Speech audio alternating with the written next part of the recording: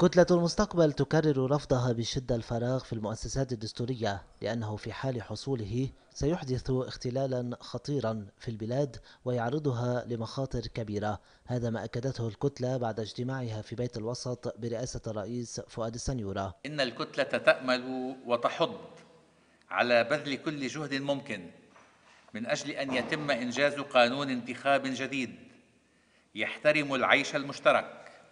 ويعزز فكرة المواطنة ويكون منسجما مع أحكام الدستور اللبناني واتفاق الطائف بما يجعل من الممكن الانطلاق نحو الإعداد لإجراء الانتخابات النيابية القادمة التي وعند إنجازها سوف تسمح بتجديد الحياة السياسية في البلاد وفضلا عن كونها تسهم في إعادة إنعاش حيوية النظام اللبناني. كتلة المستقبل جددت استنكارها وإدانتها الشديدين للجريمة الإرهابية المروعة التي تعرض لها مواطنون مصريون أقباط في محافظة المنيا في مصر كما توجهت بالتحية إلى الأسرى الفلسطينيين الأبطال في سجون الاحتلال.